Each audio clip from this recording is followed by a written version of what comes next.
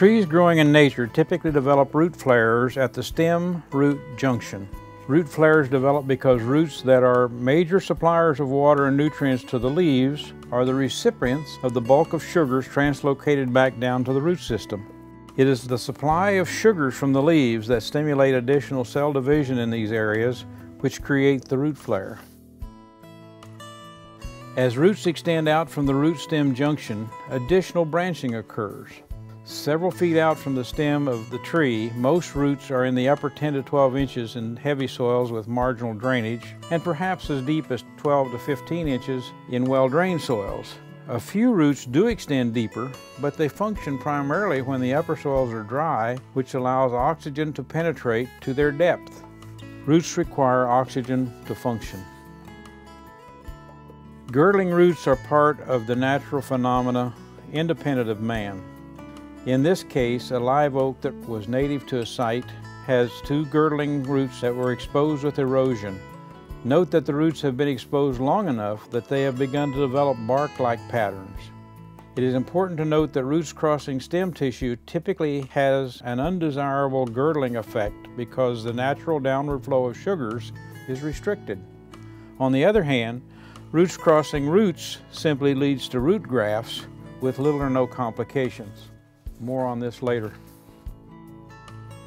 Trees grown from bare root liners and harvested balled and burlap typically have few roots in the ball of soil. If any of the fine roots present are disturbed, the tree is subjected to even greater stress. This is why such great efforts are made to keep the huge soil balls secure. This green ash shows the major roots present in a soil ball. There were likely several smaller roots that were broken away as the soil was removed. The dominance of the taproot prevented all but a limited number of more horizontal roots to develop. A major problem with harvesting trees balled and burlap is the fact that 90% or more of the roots are left in the field.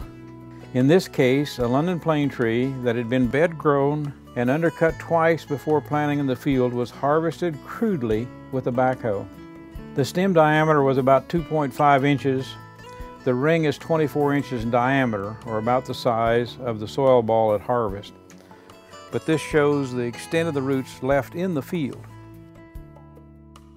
The other major problem with balled and burlap trees is the fact that first, root buds must be initiated at cut root ends.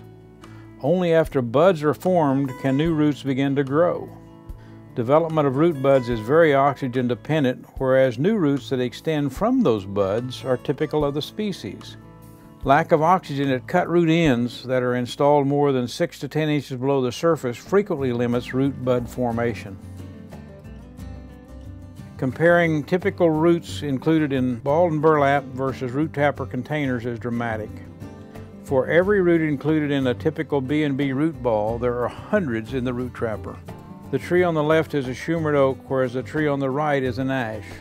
Stem diameters were about the same. The oak is two years younger than the ash. In the early days of growing trees and other woody plants in containers, it was thought that once the plant was removed from the container and planted, a root system typical of the species in nature would develop. Clearly, that is not the case.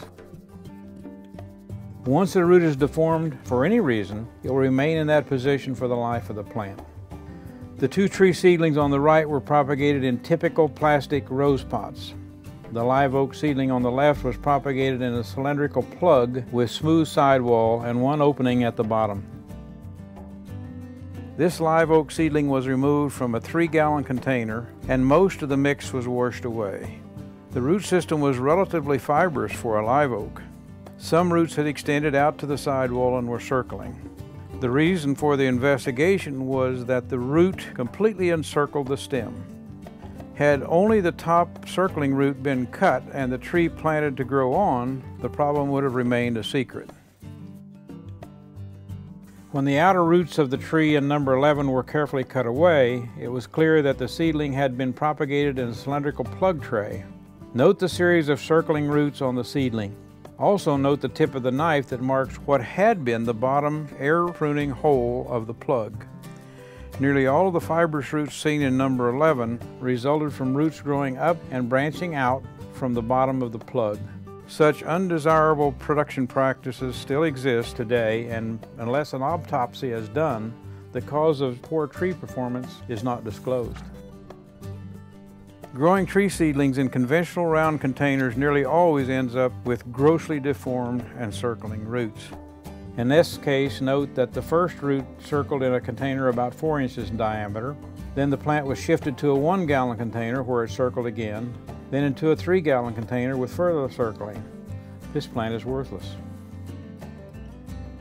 In 1983, I prepared a huge block of four different species of trees in the field. The tree seedlings had all been grown in the same way, but after two growing seasons, some had grown little, while others had grown a great deal. Since no treatments had been imposed on the trees, there was no explanation for the large growth differences. When the trees were dug with a backhoe, the difference in the growth became very clear. All tree seedlings that had developed many branch roots at the root stem junction were large trees tree seedlings that produced a limited number of large roots that extended out and then branched were much smaller. The results were the same for the loblolly pine, Shumard oak, lacebark elm, and silver maple. The data were clear. Stimulate more root branching at the root stem junction and trees grow faster and are more securely anchored in the soil. Techniques to consistently accomplish this required many years of additional research. When the tip of an active growing taproot is air pruned four inches below the seed, secondary roots promptly develop along the vertical axis. Note the third seed from the left has not reached the bottom, whereas the fourth seedling had reached the bottom, was air pruned and secondary roots are beginning to develop. Three days later, the secondary roots were well developed as shown by the two seedlings on the right. By contrast, if the taproot is allowed to extend 8 inches before air pruning occurs, secondary roots still develop back only about 4 inches, leaving few or no roots along the upper 4 inches of the taproot. I call this the 4-inch rule. It appears to apply to all roots. This is the same phenomena that allows frequent top pruning to create a dense hedge. The Rootmaker 2 propagation container is 4 inches deep and guides the tip of the taproot to air pruning at the base. It also includes sloping ledges to intercept secondary roots, guide them to openings and corners for additional air pruning to stimulate tertiary branch roots. The catalpa root system on the right was removed from the unique shaped container. The catalpa root system on the left had most of the propagation mix washed away to better show the fibrous root system. In order to better observe the root branching along the taproot of eucalyptus seedlings, a number of root balls were cut in half until one paralleled the taproot. Note the taproot and position of secondary roots on the seedling on the left. In this case, a white ash seedling was air pruned at a depth of 4 inches and secondary roots promptly developed. A few of the secondary roots were cut away to better expose the taproot and distribution of the secondary roots. Looking down on a maple seedling with the top removed shows the radial distribution of roots around the taproot. This radial distribution of roots continues down the full 4-inch length of the taproot on nearly all species. Roots continually extending outward from the original taproot are highly unlikely to create girdling roots on the main stem at any point in the life of the plant. To determine rate of root extension following transplanting, Catalpa seedlings were evaluated after 0, 4, 8, and 12 days. Note the tremendous number of roots produced and their length after only 12 days. The original root ball at the left is 3.25 inches square and 4 inches deep. Note that roots had grown in all directions from directly down to all angles and positions. When stem growth is supported by vast numbers of roots, stem taper and strength is enhanced. By contrast, with conventionally grown or native trees, few distinct root flares developed. The entire base of the tree becomes a root flare and remains more or less uniformly bulbous. The oldest trees grown with this system are 14 years and about 12 inches diameter at the base. The Shumard oak, London plane, and Callery pear trees were all planted at the proper depth. To date, no distinct root flares are visible yet the entire base of the tree is a flare and is much larger than the stem two or three feet above.